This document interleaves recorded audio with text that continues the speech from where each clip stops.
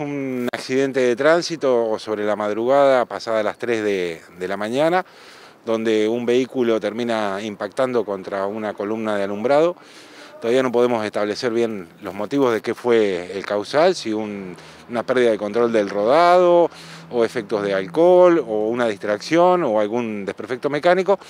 Eh, la condición es que bueno, termina con las dos ocupantes asistidos y trasladados por personal del servicio de emergencias y obviamente a condición del accidente el auto tomó fuego en su parte delantera, lo que hizo la, intervención también de personal de bomberos. Es un lugar bastante complejo, no es la primera vez que hubo accidente, la gente o no alcanza a ver esa rotonda o viene, como bien usted decía, con probabilidad de efectos de alcohol, ¿no? porque si no es invisible que esto suceda siempre.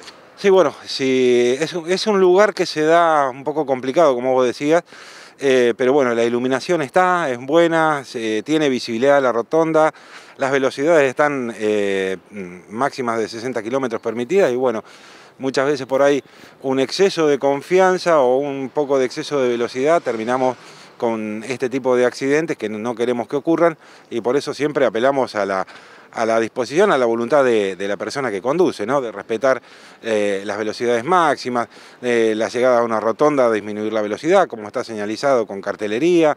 Eh, pero bueno, lamentablemente ocurrió y ahora bueno, la gente de policía determinará cuáles fueron los, los causales de, este accidente. ¿no? ¿Se supo de los dos hombres?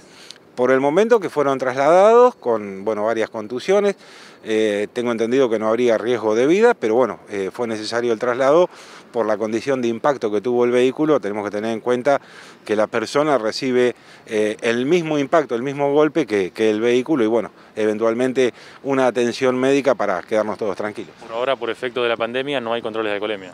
Tengo entendido que, no se están haciendo, eh, si bien el, otro día hubo un caso donde la Agencia Nacional de Seguridad Vial tomó intervención, pero bueno, debido al horario, eh, no sé si tiene disponibilidad de, personal, al igual que la parte de control de tránsito, que no sé si están ya funcionando los alcoholímetros o no.